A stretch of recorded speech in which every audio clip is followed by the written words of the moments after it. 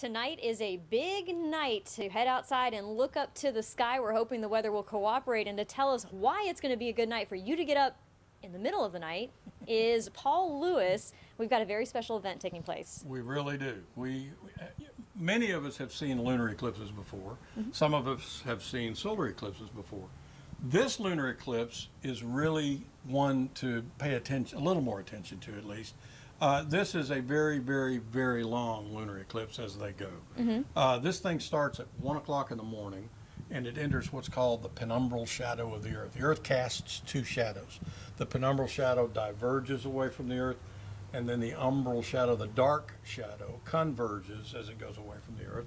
And the moon is going to pass through first the penumbral shadow, then the umbral shadow, then into the penumbra again, and then out.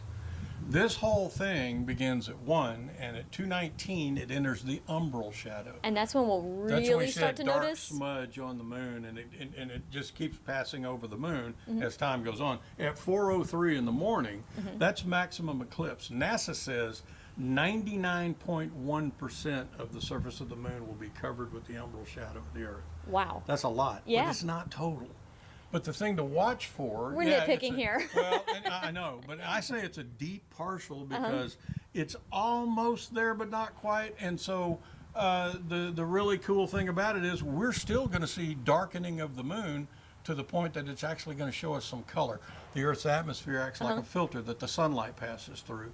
The long wavelengths get through, the short wavelengths get scattered. Mm-hmm. So when the long wavelengths hit the moon, it looks reddish, a dark, deep, ruddy, reddish color. Mm-hmm. It won't last for a long time, but you can start looking for that about 3:30 or so, and maximum eclipse at four, a little after four, and then it begins to leave the shadow, Mm-hmm. and we see more of the moon illuminated by the sun, and then we're on the downside at that point. Wow. So- And I know the weather conditions we're supposed to see the skies clearing out Yes, tonight.